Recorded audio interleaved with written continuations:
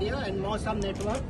I'll talk to you about most of the solutions, all solutions that you are hearing, most of the quote unquote solutions that these negotiators are talking about are in a way or other connected with carbon markets. Whether it is the credits from the Ocean Geoengineering, CDR, Ocean CDR, whether it is the forest, all are connected to carbon markets.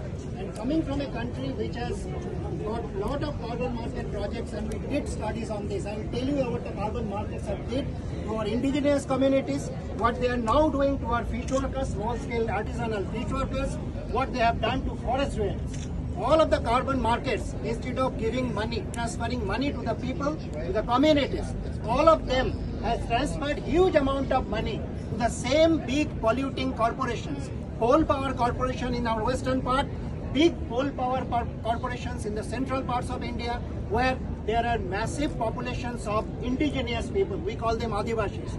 It has displaced them. It has taken away their forest rights. It has violated the India's Forest Rights Act by carbon markets coming in. It has reached remote forest areas in many areas of our country. And this is being resisted not only by the indigenous community. Now, these carbon markets are reaching out, its tentacles are reaching out to the coastal areas in the name of blue carbon. And the fish workers organizations have already issued very strong